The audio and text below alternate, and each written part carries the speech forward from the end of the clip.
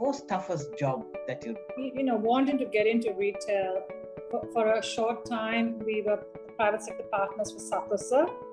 Then we came up with this idea of having independent retailers under a brand called Star United. But I think we didn't get everything right.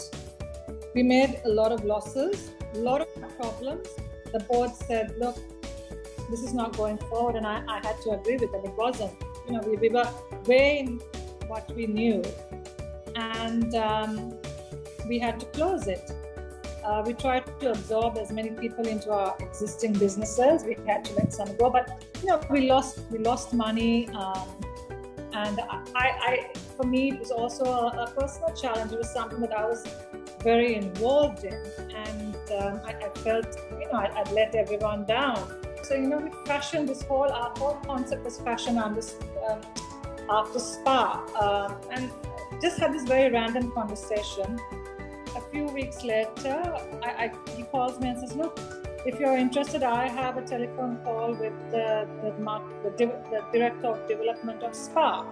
Would you like to talk to him? And you know, that was then became from a journey of absolute despondency. Suddenly, I, had this conversation, and that what then became, you know, that despondency became an opportunity to really create this new venture that you know that, that was, it took several years um, from the time we actually spoke to SPAR to actually come here because they were having really burnt our fingers in retail.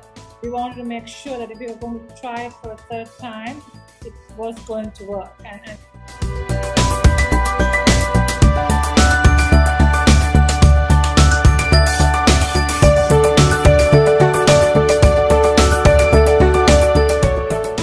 wish you a very happy new year. So sometimes good things start with a lot of challenges.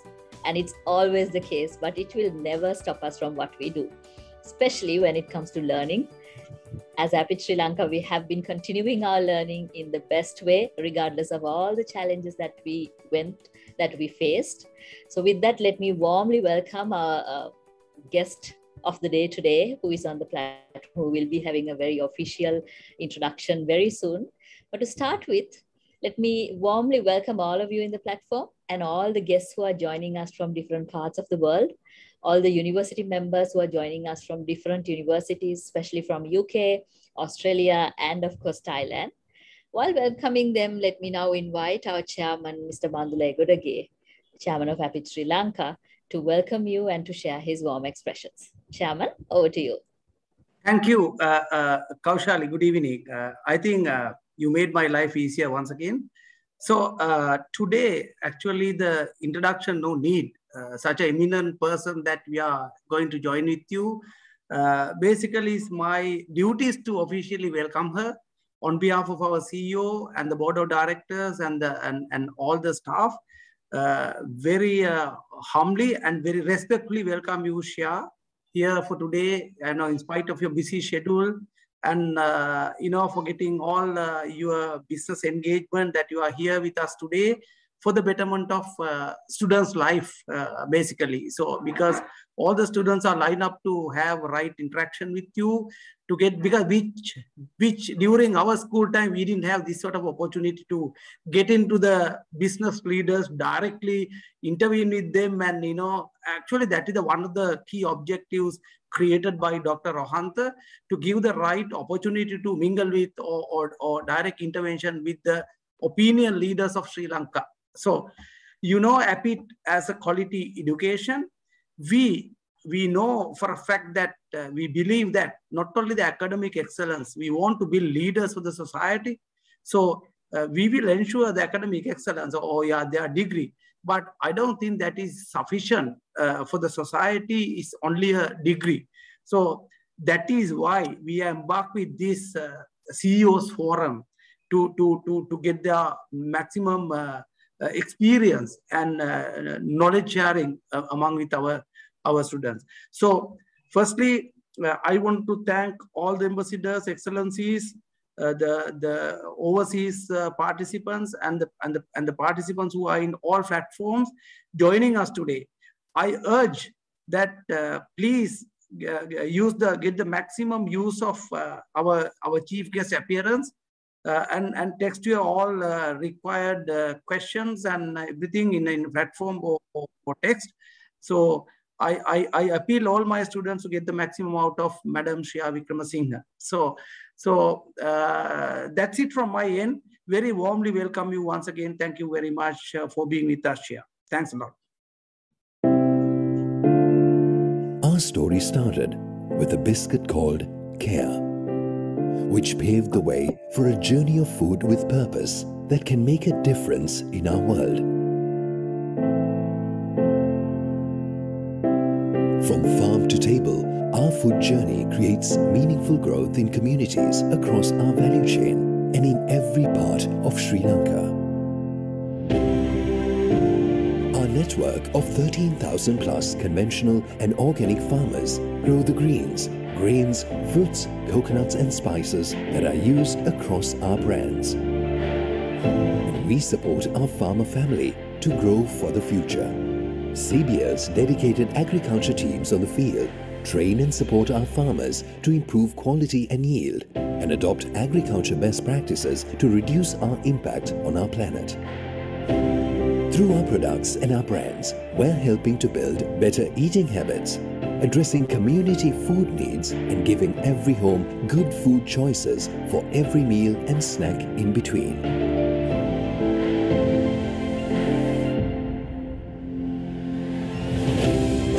We're continuously changing and automating our processes towards cleaner production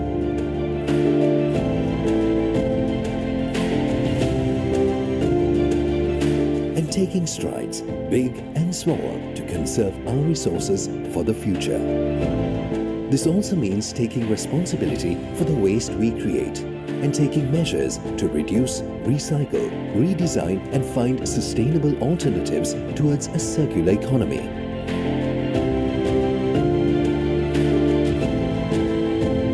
Through our everyday actions, our brands have become a catalyst to create diverse, inclusive, healthy and happy communities. We're supporting better livelihoods and strong diverse partnerships that are geared for growth. We are empowering women in our value chain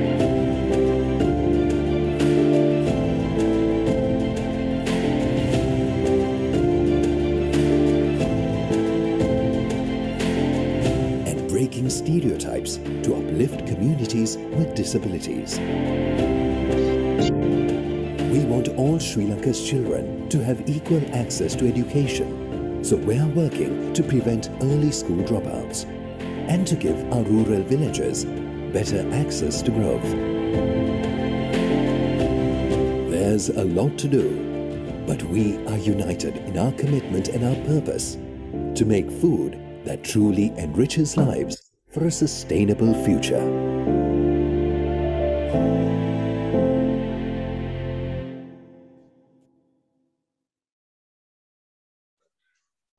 We have with us today, uh, I think one of the most eminent business personalities. Uh, let me introduce um, the group managing director um, of the CBL group, uh, who has um, the manufacturing operations in confectionery, cereals, soya, coconuts, and fruits, and has strong market leadership in Sri Lanka in several categories with its brands such as Munchee, Ritzbury, Revello, Lanka Soy, Samaposha, and Sera.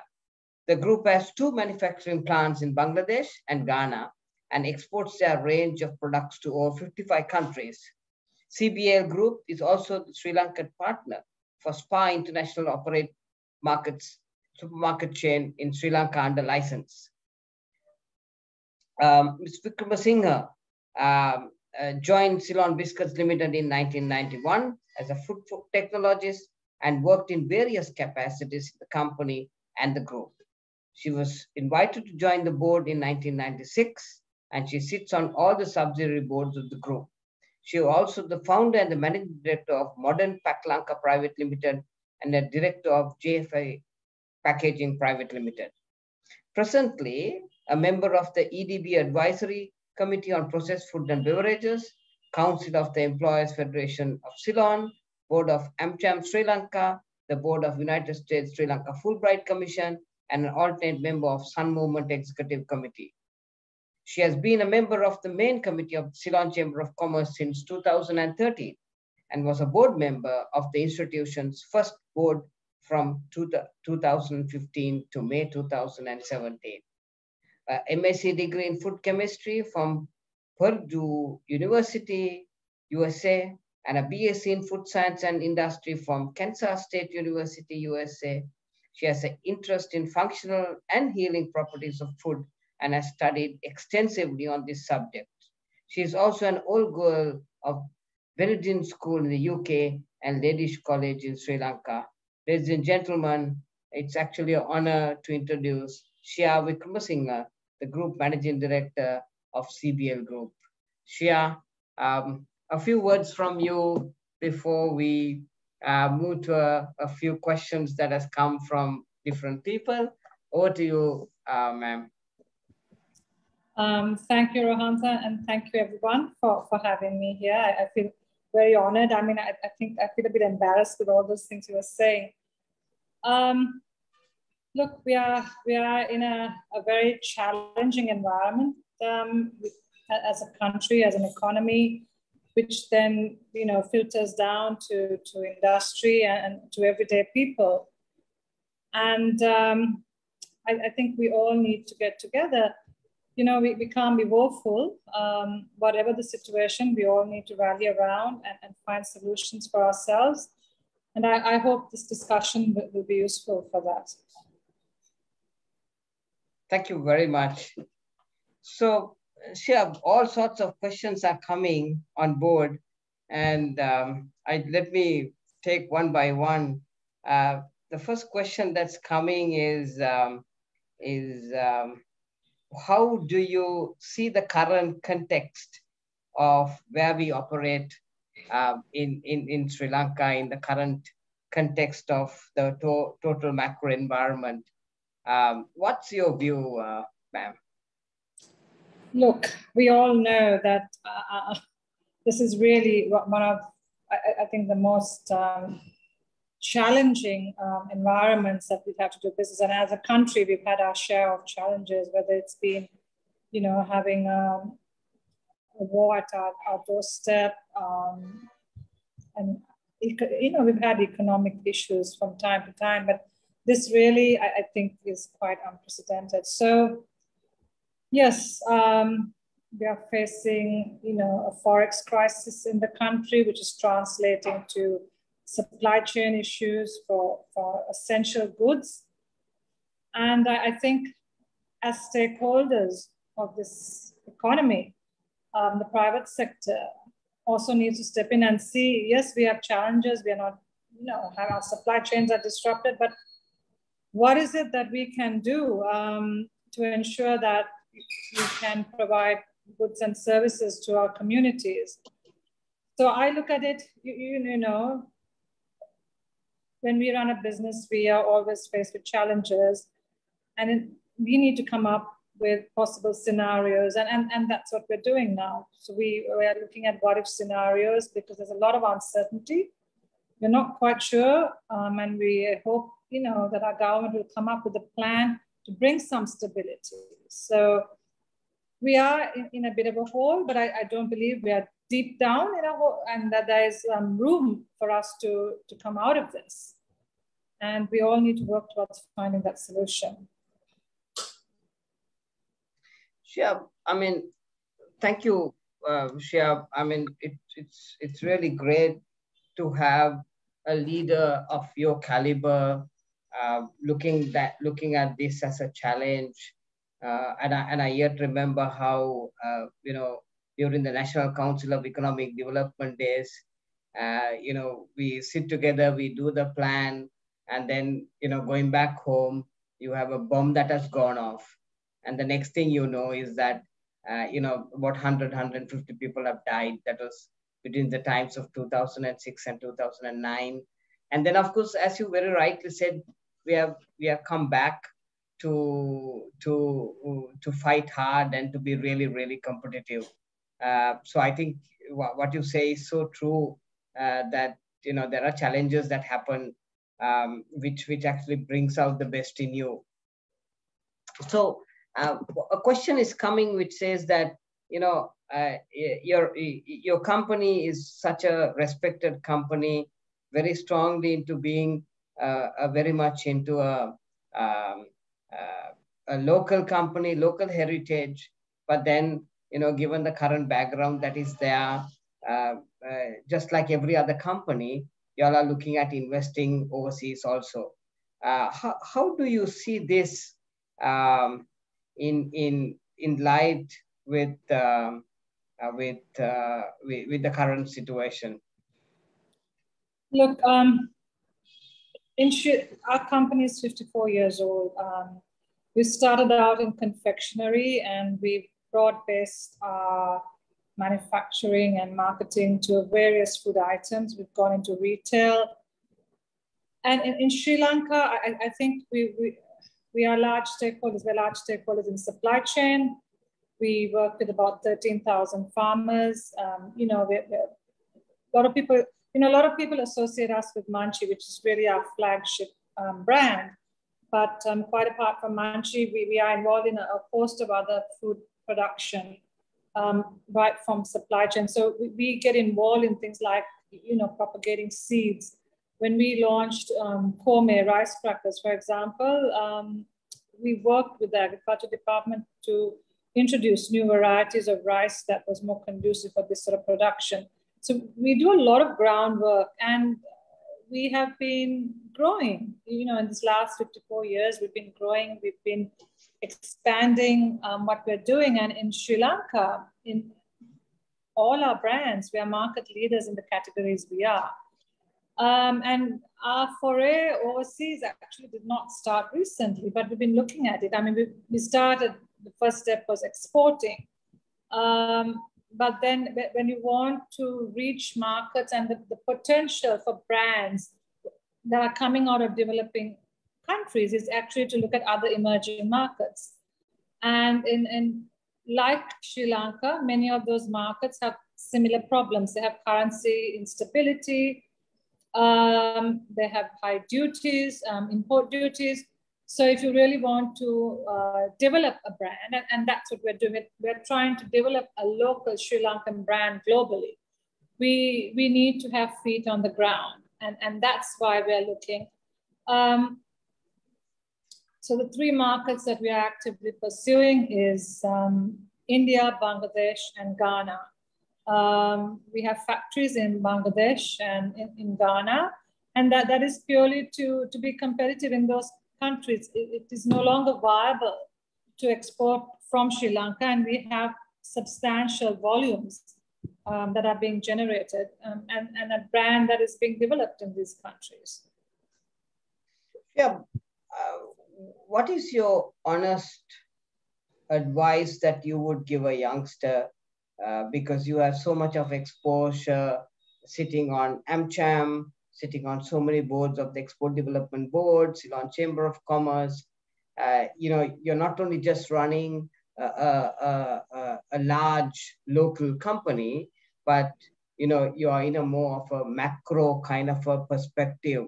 Uh, so uh, we have you know, in Staffordshire University, you have about 400 youngsters studying for master's programs in different uh, uh, different kinds of years. So, what is your honest advice here to the youngsters?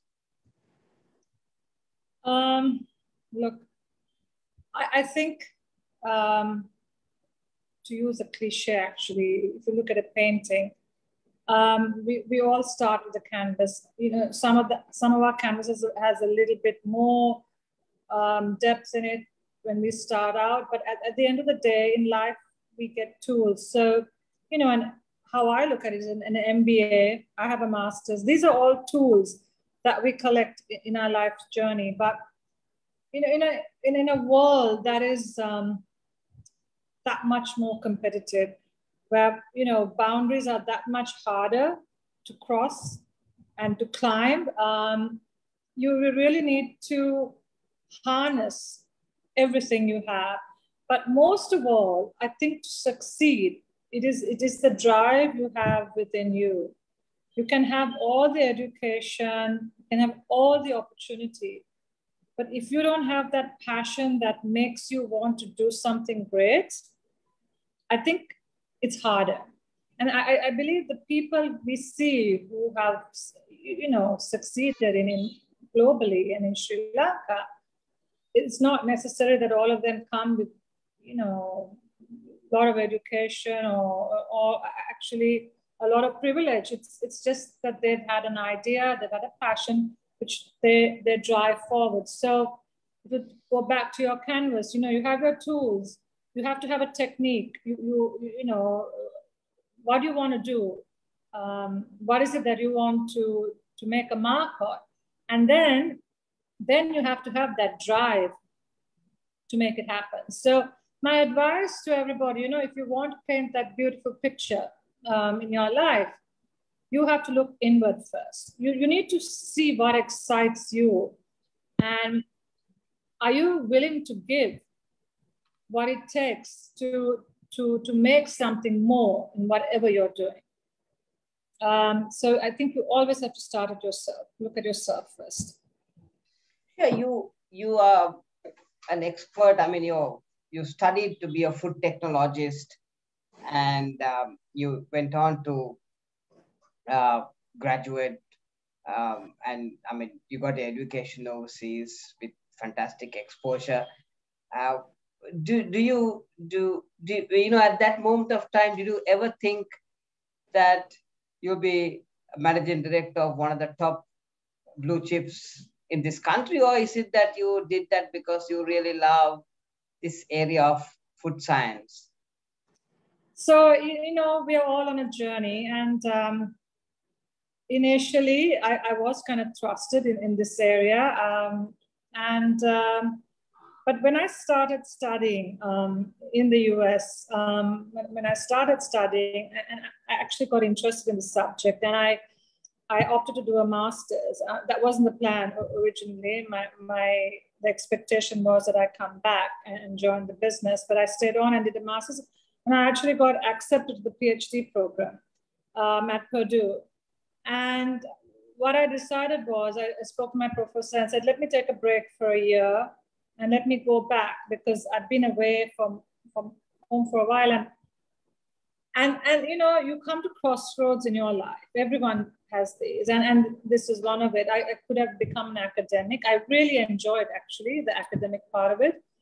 But when I came back to Sri Lanka, I, I joined the business. Um, I got married, so I put on put down roots here. And um, then it was a, you know, that, that was where my, my journey took me. And, and um, what I found was my technical knowledge was helpful, but really what, what, what I really found, and uh, Mrs. Rohini Nanayakkara told me this uh, once, you know, in, in, countries like Sri Lanka, you, you have so many possibilities um, to make a difference in people's lives. And quite frankly, what drives me um, at what I do at work is, you know, quite apart from, it's not running a business, but actually the ability to, to touch and improve people's lives and communities. And it actually goes back to the start of Ceylon biscuits. When our founder chairman started it, I mean, he came up with this idea of a high protein biscuit um, that was introduced as a midday snack. You, you know, I, I, think the core value of our business, I mean, I, I don't want it to sound cringy, but quite honestly, that really is what um, gives me a lot of drive and um, pushes me to do more. I, I, mean, you know, we are no longer only a confectionery business. We're such a wide, we do such a lot of different work. Um, from big to small, you know, we, we have projects where we are propagating bees in communities. It, it, it's good for the environment, it's good for community. And we, we are able to, you know, with our marketing um, uh, networks, our sales distribution networks, we are able to sell these things for these villages. So that, you know, we are uh, a launching pad for so much that we can do. And So if you ask me, um, yes, I, I didn't think of actually joining the, the business, the family business. When I was young, you always rebel against these things, but circumstances led me to it. And then, you know, you, you create your own space and you create your own capability to do something and to make a difference. And, and I guess that's where I am now. Uh, Shea, you you you all were just voted in and is one of the most admired companies in Sri Lanka. Um, I'm, I'm just actually just reading the article that appeared in the Daily News. Uh, what went through your mind on the 20th of March when this pandemic stuck? You know, I mean, because you, you, I know your whole family, y'all are so, um, you know, uh, focused to the business, so, um, you know, caring to the people around, uh, you know, it's a beautiful culture that you all have. So suddenly you get up and everything is closed. You know, what, what went through your mind, Shea, as the managing director of Munchee?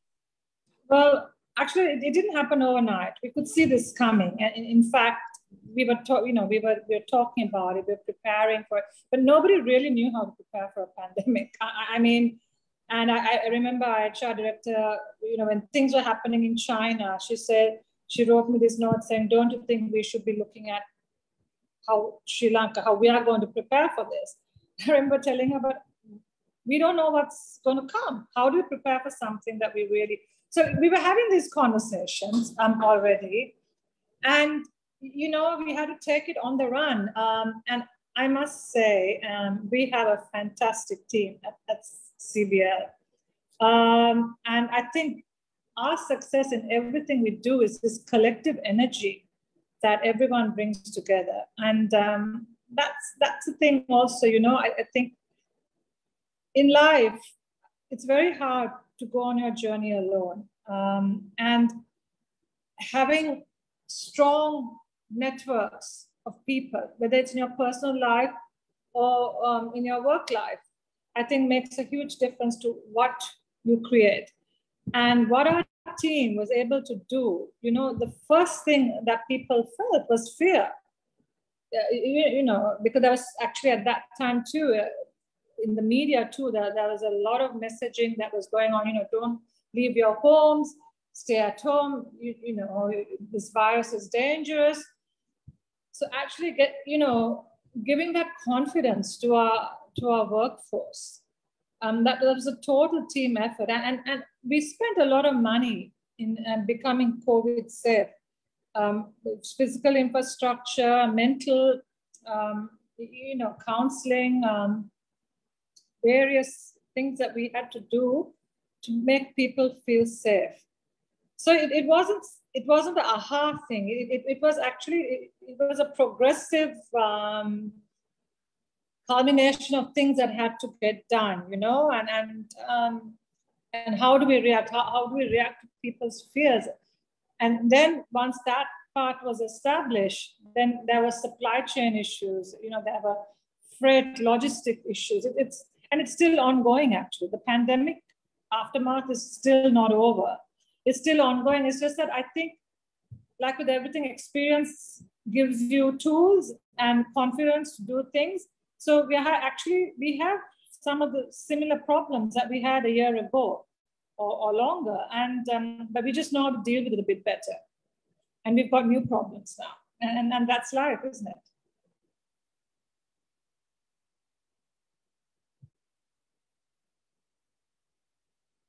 You're on mute, uh, Ron. You're so right, Shea. You're, you're so right because last night I was watching CNN I mean, 100 million people have got COVID, uh, you know, and again, you have another wave hitting. So I suppose we have to start asking ourselves, what do we do to protect ourselves? Um, just want to comment from you as you're a World Bank Award winner from Women in Ma Management and, uh, you know, the, it says that CBL Group workplace culture, empowering women leaders, uh, is, is, is important. Uh, Shea, what is your thought on this uh, for instance, when uh, at an interview, you, you like to always empower women, uh, you want to bring the gender balance in, but then you also want to recruit somebody who has the correct skill set. Uh, uh, how would you handle such a situation? So, I mean, quite frankly, we always recruit the best person for the job. We don't look at gender eh, when we are interviewing in that perspective, but how do we bridge and how do we give more opportunity to women? Now, that is something we are working on. So we encourage if people, we've had instances where we've had women um, within our organizations say they want to try out for more male dominated positions. And, and we enable them to do that when that happens. These are not large numbers by any means, but I, I think having an enabling organization, which makes where we allow women to feel that they can do anything they want, is, is really important.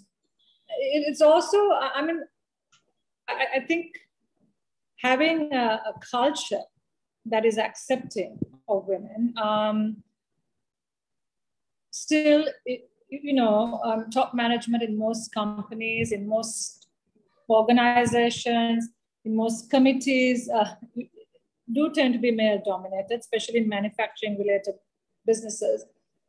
But it's changing. I mean, I've seen it change um, in, some of the committees I sit from 10 years ago to now. And I, I, think it is that enabling culture that we need to keep working on. And um, we also have, um, so what we find is uh, at a management 20 level, we take in a 50-50 men and female ratio. But when it goes higher up the ladder, you find there are still more men in senior management. So we have a, a middle manager um, development program in our organization, as well as a senior manager. And, and through these um, kind of actions, we try to encourage more women to participate in, in higher, higher roles. Sure. What was it when you were appointed as managing director? Uh, walking into the company, um, taking over leadership in, in one of the large organizations of it uh, from one side, you are owner, uh, and from another side, you are a leader. Um, uh, do, do, what was it like as a, as a as a as a female taking over? So you know, I'd worked in the organization. Um, so I think I took over in 2011 as, as managing director, and I'd worked from since 1991 in the organization. So it was it was really weird I remember, the, so when I changed my office and I sat on that chair, I felt really overwhelmed. Despite knowing the business quite well, I suddenly realized that when I sat on that chair, um, the buck kind of stops at you, whereas before that accountability wasn't really there. And so there were areas, for example, that I felt in, in the business I, I wasn't quite you know so comfortable with. And that kind of actually i had almost you know almost had fear. I was overwhelmed. And it took me actually a, a couple of months to settle down to understand despite being working i mean i was on the board. I've been working in the company for so long. I knew everybody. But um, yeah it, it it, it, was it was um, there's a lot of emotions going through that. And then like anything and what i'd like to share with, with uh, the mba students is in life it's, it's a confidence that you have. And confidence comes with knowledge. You, you, you know if you don't know something you need to learn it. And, and that's just what it is. And, and that's what happened in those couple of months for me to get my footing in this new role was i had to adapt to it and i had to understand it. And, and that that was it Sure, what was the most difficult decision you had to make as a managing director? Why, why, why, I mean, that you never ever thought that you will have to do this, but you know now as you say, the buck stops with you. So, what was that key decision that uh, you like to uh, tell these MBA students? Listen, I, I, you are never ever ready for a job. As Steve Jobs says, you know, you're never ready. You you sit on that chair, and like you very rightly said, how you matured yourself up to it, and you just did it. Uh, I mean, it's a it's a local situation of how you really lived up to that those words that he said when he was you know uh, you know he, that sometimes you're not ready for a job but you do it what is the t- most toughest job that you so look there, there are always hard decisions that need to be made um, not pleasant ones but I, I, can give an example of one that um, made me feel very bad and um, for, for various reasons um, we've been, um, you know, wanting to get into retail. CBL has been wanting to get into retail for a while. For, for a short time, we were partners in um, the private sector partners for Sathosa. And um, that was our first foray. Then, then we came up with this idea of having independent retailers under a brand called Star United. But I think we didn't get everything right we made a lot of losses, a lot of problems, uh, and uh, the board said, look, this is not going forward. And I, I had to agree with them. It wasn't, you know, we, we were weighing what we knew and um, we had to close it. Uh, we tried to absorb as many people into our existing businesses. We had to let some go, but you know, we lost we lost money. Um, and I, I, for me, it was also a, a personal challenge. It was something that I was very involved in. And um, I, I, felt, you know, I, would let everyone down. And, um, and so I'll take it a little bit further and share with you how it became an opportunity. So soon after this had happened, I was actually um, going for a bike ride with a friend. And we were in the car trying to get into our destination and this was fresh in my mind. So I was talking about it and I was telling him, look, um, this is, you know, I'm feeling so bad about all, all, of this. And, and I was saying, you know, we fashioned this whole, our whole concept was fashion on this, um, after SPAR. Um, and just had this very random conversation. Uh, he's an investment banker. And um, a few weeks later, I, I, he calls me and says, look, if you're interested, I have a telephone call with the, the, the, the director of development of SPAR. Would you like to talk to him? And, you know, that was then became from a journey of absolute despondency. Suddenly, I, I had this conversation, which, which we spoke for about an hour, and it was a really good conversation, which we took it further by meeting in person and, and so on.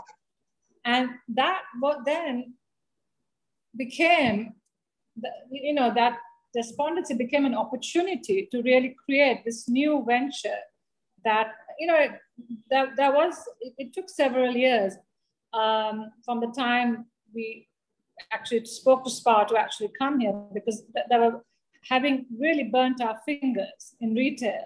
We wanted to make sure that if we were going to try it for a third time, it was going to work. And, and um, so that was really a, a story of, I think, if you believe in something, I always believed the concept that we had was right. It's just that we executed it wrong. And um, going after what you believe in. And networking is so important. Random conversations are so important.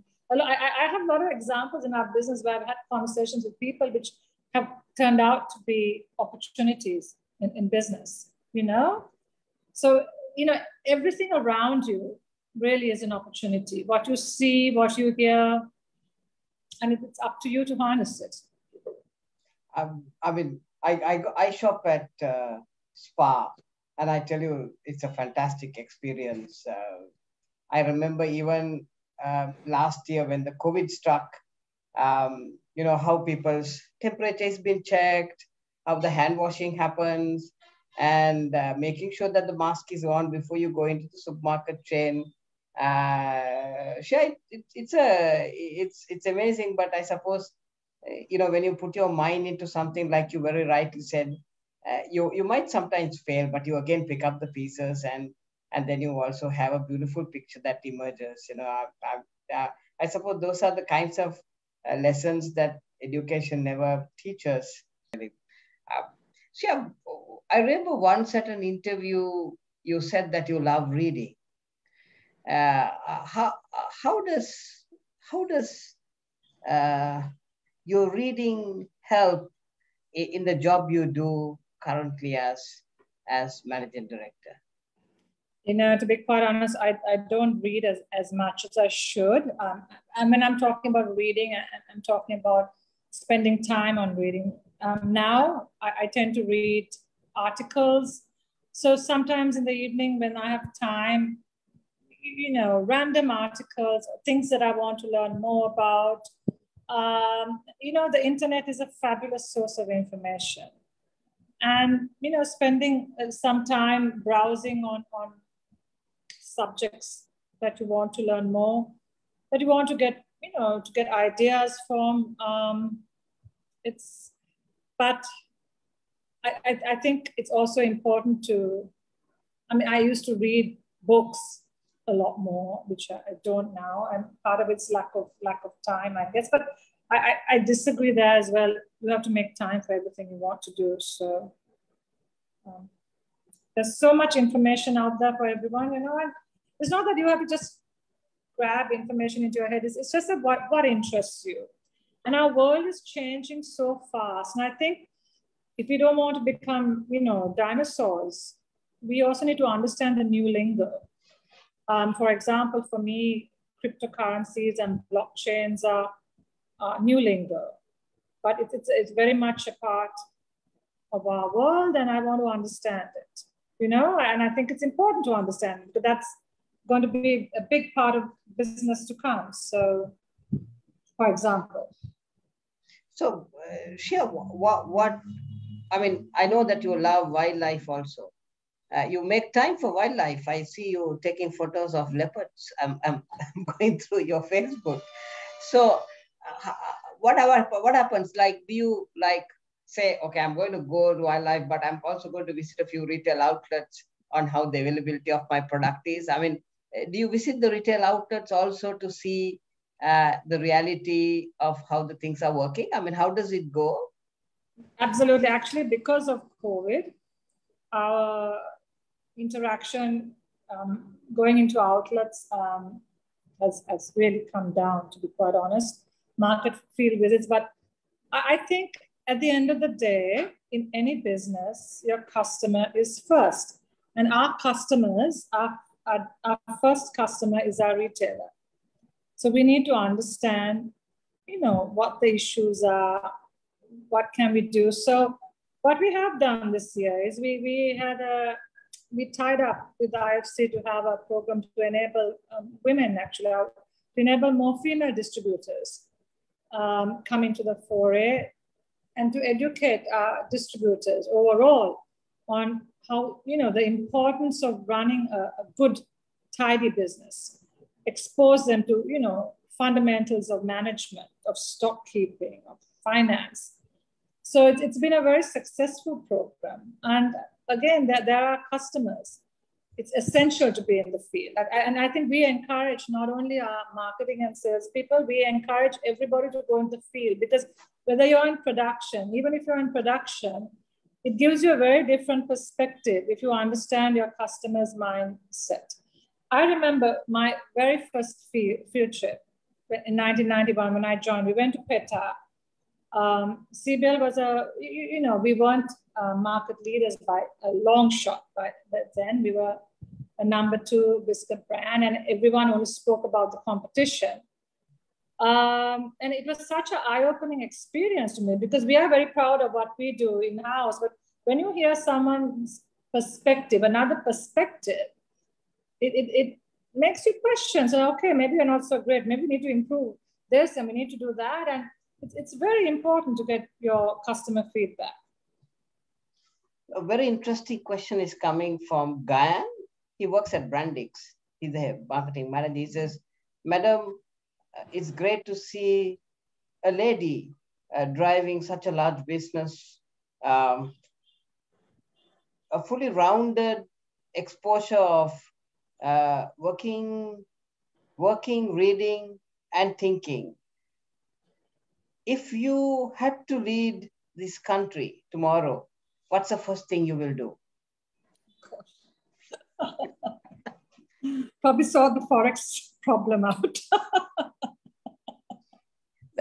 um, you look okay. On a, on a more serious note, um, I think there are several areas um, that we could do differently. One is education. Um, I, I, think so. I, I got this information which I didn't know that there are only. I, I think I hope I get the numbers right, and forgive me if the numbers are, are, are wrong, but something like 200 schools that feed students into universities, for example. Um, and, and, that's why this grade five scholarship at, at, you know, this tender age of 10 or 11 years old, but the age they take the scholarship, yeah, you know, it, it, it, it changes their future. And I think for a child at that age, if it's too much, so that's on education. On agriculture, I would have a strong agriculture policy. I, I feel sometimes it's so frustrating because alone you, cannot do it. And it really has to be a national strategy of what are we going to do with this country's agriculture? What are we going to be good at producing? And we are going, and we should be the best. And there's no reason why we can't. Um, instead, we still, you know, a lot of what we do is what we did 100 years ago. The agriculture modernization program has been really slow um, in this country. And um, there lies opportunity, you know, I mean, there is so much that we can do. Um, yeah, so I, I don't want to keep going on. Is that sufficient? yep. Uh, I'm getting a WhatsApp message. Uh, it's from Ruth. She's doing a master's. Uh, she resides in Seychelles, uh, Shea. She's doing online and uh, she works for the environmental ministry at the government of government of Seychelles. And she says, um, I know that you love agriculture from what you say. Uh, what do you think of the policy of going organic? so, to be quite honest, I like to buy organic when, when I can. I support small farmers who try that. Um, but it's a journey. Um, and a small country like Sri Lanka, where we have small farmer holdings, you, know, when it comes to agriculture, um, we can't compete sometimes with, with larger countries which have larger um, land bases. Um, their um, cost of production gets it's much lower than ours. So these are opportunities. I, I, think there's an opportunity to, to, to grow organic in Sri Lanka because we have these small land masses and we can control it more easily. But it, it cannot be done overnight. Um, we all know that it cannot be done. It, it, it's an absolute process. And, you know, what, what I've seen in the US, where when you go to a supermarket, in, in Sri Lanka, there's still a big price difference between organic and conventional. But in the US, the price is almost negligible. And that is because they have the techniques that are increasing yields. You know, th there are ways to do things. And um, I am all for less chemical usage, you know, more holistic food production, more sustainable food production. And, and this is what I'm saying, there's so much in agriculture. We, we need a, a strong national policy to, to take um, things like this forward. question is coming from a guy, Didak. He's a second year student in the Staffordshire University MBA Shea. He's saying, do you believe in do you believe in free trade agreements? Uh, and, and do you feel that we should, as a country, use uh, uh, trade agreements to develop our foreign exchange reserves? I do. We are a small country with a small market.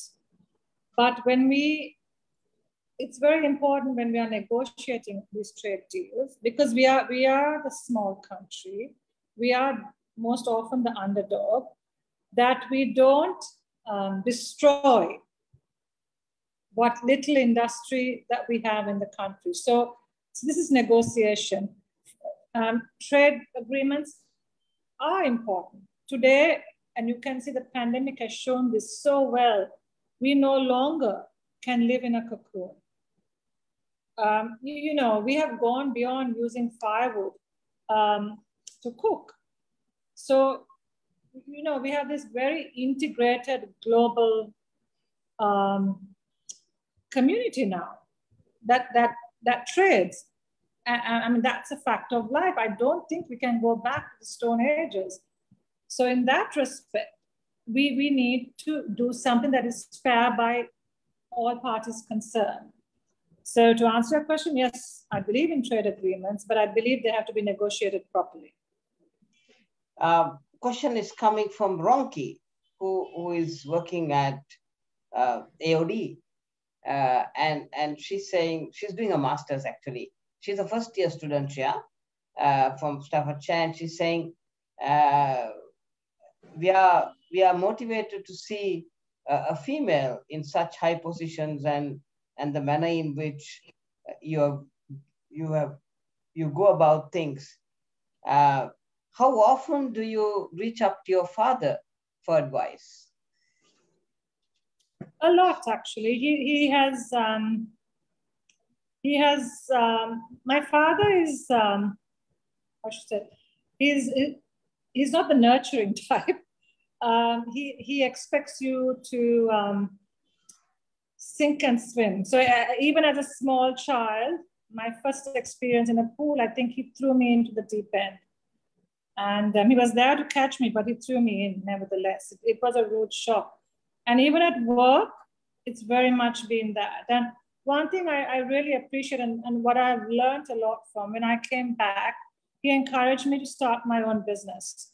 Um, and, and I think someone mentioned it in the beginning, Modern Pack Lanka. We started with four employees. Um, he, he told me, look, we have we are buying these packaging materials from Singapore now. The, the supplier is a friend of mine. If you want, do a joint venture with him and, and start manufacturing these packaging materials in Sri Lanka. And so we did that with a, with a, very small investment in 1994 with four employees. We started this. And um, I was, you know, in Ceylon Biscuits, at that time I was a manager um, in some department, but we had, you know, you had your finance or HR divisions. There were always specialists to do. But when I started my own business, I had to understand what all these things were about. I, I you know, I, it made me understand the labor regulations. It made me understand the fundamentals of finance. I had to manage my finance. I didn't have a finance manager. Um, I just had a clerk who was working. And that was one of the best forms of education I had um, that gave me a really holistic, rounded um, outlook to what it is like to run a business. And I remember the first time I had an issue with the supplier, they sent us faulty material, negotiating with that. It was a whole lot of skills that I learned um, running that small business um, that I did that working at Ceylon Biscuits. And it, it, it's different. It was completely different. Yeah, uh, a very interesting question is coming. Uh, uh, it's coming from a guy called Yasir. Uh, Yasir, Yasir, Yasir is, is, is a student from uh, from UAE. Uh, he works for a he works for a large uh, retail chain there, and he's saying uh, from all your experience of working in different departments, which particular function do you like the most? So actually, I like my job now the most, to be quite honest, um, because I can I can create. I like. Um, I think I I um, like to start new ventures. I, like to do new things. Um, so right now, that gives me the possibility to do that. I, I mean, I've been in product development. Um, I'm, I'm a technical person. I just love doing new things. Um, so just to share with you, during COVID, I got together with a friend of mine um, and we were thinking, look, you know, we need to produce more, we need to have more value added agriculture. And we, we came up with a concept um, that we thought we could add value using herbs and spices. And it took about a year to develop. We, we roped in two other partners. And this is quite apart from CBL. This is something I, I like to think we did it, it's almost therapeutic. And um, we, we just launched this product called Gourmet Twist um, it, um, on last Thursday. Uh, and it's, it's, uh, it's a cold chain product where we want to bring flavors of the world to Sri Lankan kitchen using all Sri Lankan raw materials. Because at the end of the day, the rest of the world gets all their requirements from countries like ours. And they have all these interesting products in their countries. And our thinking was, why can't we do that here as well? So, you know, it's, I, I love creating stuff. And, and, yeah. and that's what I'm doing. Sure. Where do you see this company in the next 10 years from now? I think we can become a, a global company. Um, we have strong brands, we have strong functional capability, and uh, we, we have a lot, I mean, we have a core strength there, which can be a platform for us to, to leap into other markets. Uh, your last question, Shea. Uh, I mean, there are a whole heap of questions, but I'm just picking one of them. Uh, it's from a lady, Dilini. She works at MAS in Thulhiriya. Uh, she's uh, a student in MAS uh, from the university. And she's saying, uh, apart from working and your hobbies, how do, do you work out and how do you uh, how do you maintain a healthy life? So um, I, I love yoga. I've been doing it for quite a while now. I've become more serious about it in the last few years. Um, I have an excellent guru. I think that makes a difference as well. Um, and that, I, I think physically um, has been, physically and mentally actually, completely rejuvenates you. Um, when I can, I, I also try. It's, it's, not as often as I would like, but I, I, I try to med- meditate. Um, and that, I, I, think, you know, people throw this word stress. And I, and I like to think now that I'm much more aware. The, whole thing about being stressed is you create your own stress. So if you're aware of that and don't absorb it and learn how to not absorb it, it's easy to say don't absorb it, but sometimes it's not so easy. It's learning, and I, am on this journey of just trying to do that. So I, I, don't absorb it, but really work at it rather than absorb it. So, um, and I also think having good friends that you can have a good laugh with is so important. Um, lately, you know, we, we go through life. You're young, you, you have lots of friends, and then you start having children, and then you become busy, and then and it's come to then most of us have grown up kids, so we have a little bit more time um, really uh, to spend with others. And I find myself catching up more with some of my childhood friends now, and um, you know we had big gaps where we, we haven't really been in contact, and it's just so nice um, sometimes to be with people who you know, I've known you since you were so young, and then there's no judgment, and you can talk. And I, I think to be able to have people that you can talk to is, is a, we are very lucky to have that. I, I have to take this question, uh, Shea. Uh, it's coming from Udara.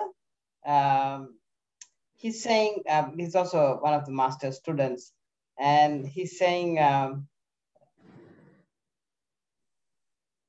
how does the question go? Yeah. Thank you, madam, for taking your time off to share for us to understand more than education, uh, what, what we could learn from people like you.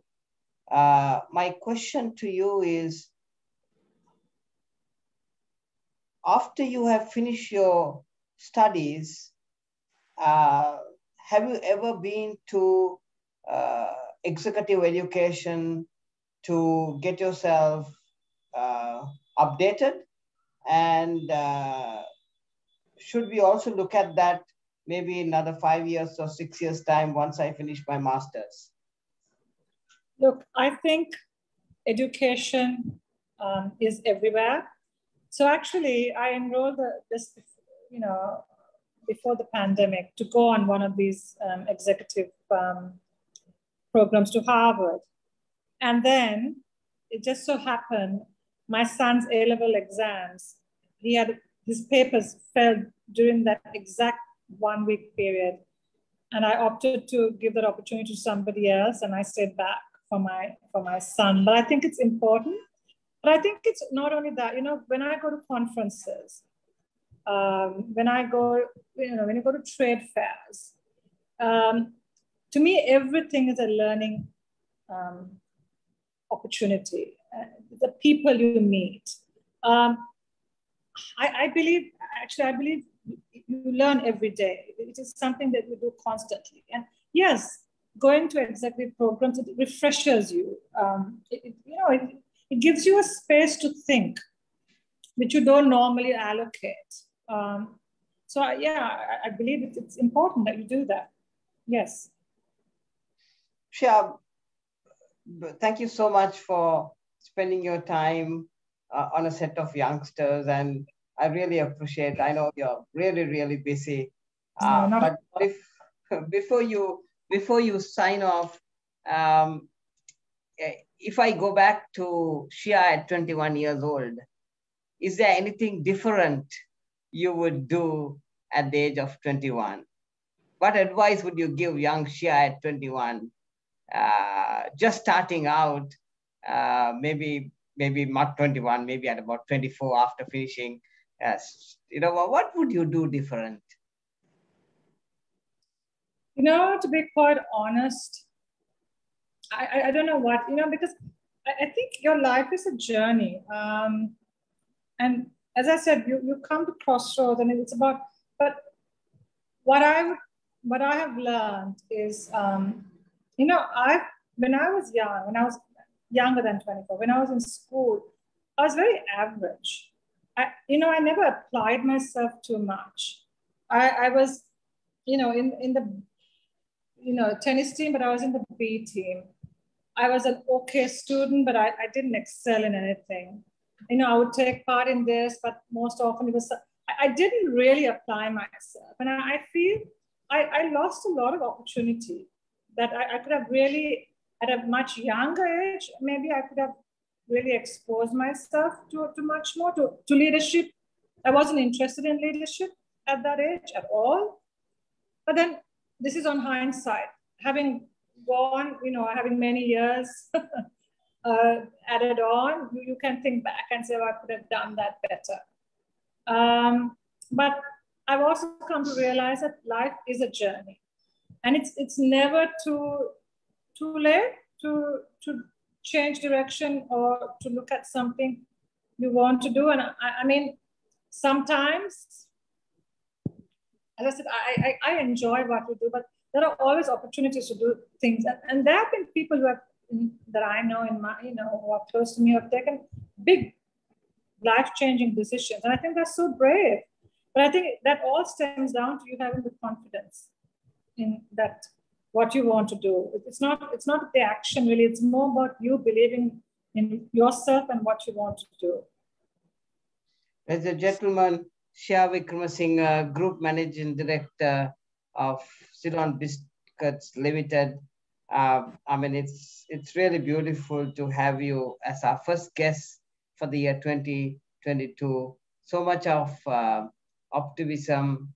Uh, I mean, I, the kind of vibe that you gave, Shea, I think is going to help youngsters a lot because all what you see is so much of negativity, whatever news channel that you listen to. So, uh, over to you. Thank you so much, Shea. Thank you. Thank you very much, Doctor. And thank you so much, ma'am, for that enlightening words that you shared today.